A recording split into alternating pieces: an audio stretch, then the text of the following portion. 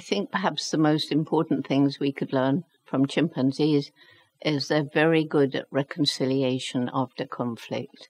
We don't seem to be very good at that. We hold grudges, we fight wars, we have conflict all over the world today.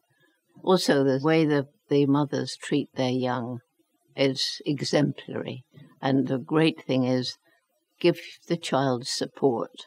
Could be a mother or a father, but I didn't know my father very well because he was fighting in the war.